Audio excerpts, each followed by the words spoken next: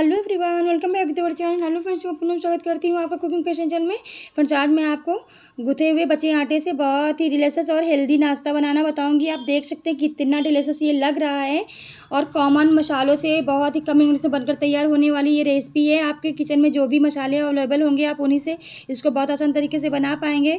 तो फ्रेंड्स अगर ऐसी रेसिपी देखनी मेरे चैनल पर न्यू हो तो मेरे चैनल को सब्सक्राइब कर लो बेलाइकन को प्रेस कर लो, जिससे मेरे न्यू वीडियो का नोटिफिकेशन आपको फटाक से मिल जाए।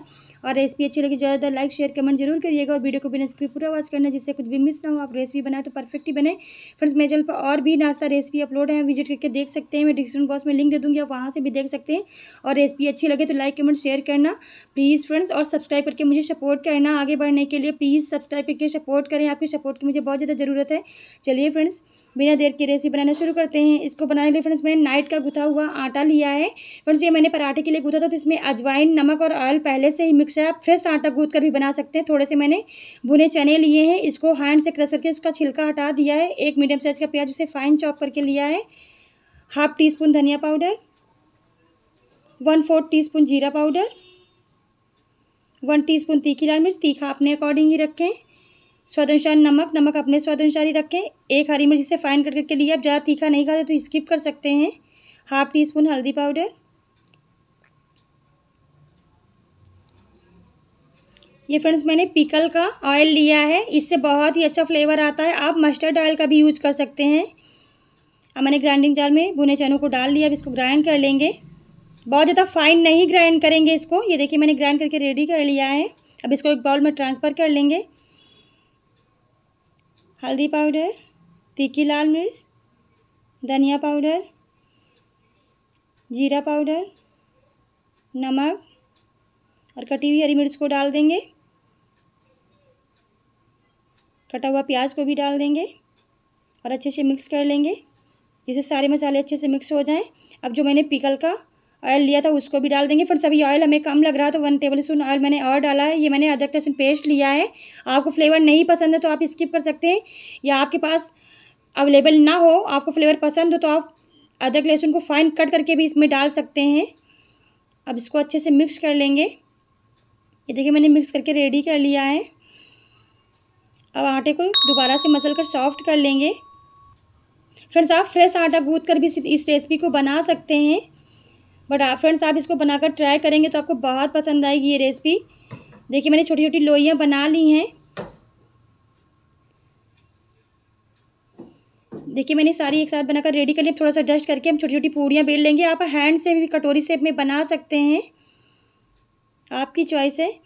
मैं सारी एक साथ बेन कर रेडी कर लूँगी। ये देखिए, अब इसके अंदर स्टफिंग को रखेंगे। मैंने टू टीस्पून डाला। आप अपने हिसाब से कम ज़्यादा कर सकते हैं। अब साइड से उठाते हुए, पिंच करते हुए हम इसको अच्छे से सील कर लेंगे, जिससे खुले नहीं। फ्रेंड्स, ये बहुत ही हेल्दी है। आप इसको बच्चों को, बड़ों को, किसी को भी सर्व कर सकते हैं। और आप इसको बनाकर ट्राई करेंगे, आपको इतना पसंद आएगी कि आप एक्स्ट्रा आटा गूँथ कर रखेंगे इस रेसिपी को बनाने के लिए। अब इसको ऐसे गोल गोल शेप में बना लेंगे। आप इसको ऐसे फ्लैट भी कर सकते हैं।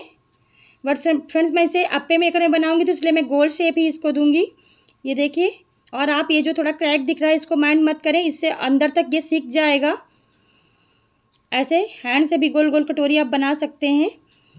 अगर आप बेलना नहीं चाहते, अब इसके अंदर भी स्टफिंग को रख के ऐसे साइड से उठाते हुए हम इसको सील कर लेंगे और सारे बनाकर हम एक साथ रेडी कर लेंगे। ये देखिए दूसरा भी मैंने ऐसे बनाकर रेडी कर लिया, ऐसे हम सारे बना लेंगे। फ्रेंड्स, ये बहुत ही हेल्दी है क्योंकि इसमें चने का भी यूज़ किया है जो पाउडर फॉर्म में और आटे का भी। अब मैं अपे मेकर में ऑयल से ग्रीस कर लूँगी। आप घी का भी यूज़ कर सकते हैं। देखिए, मैंने सारे बनाकर रेडी कर लिया। मैंने गैस पर इसको रख लिया और गैस की फ्लेम को लो रखा है।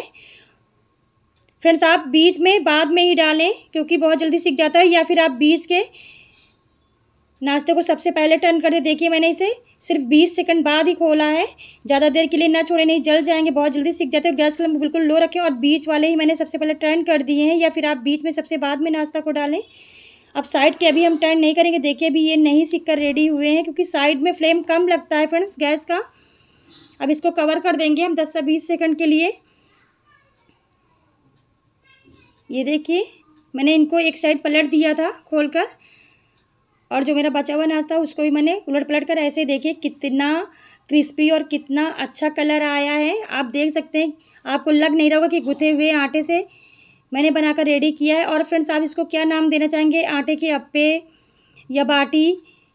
देखिए, आपको तोड़ कर दिखाती हूँ देखा आपने कितना सॉफ्ट मैंने थोड़ा सा इसको हैंड से दबाया तो कितनी जल्दी टूट गया और कितना डिलेशियस स्टफिंग इसके अंदर है।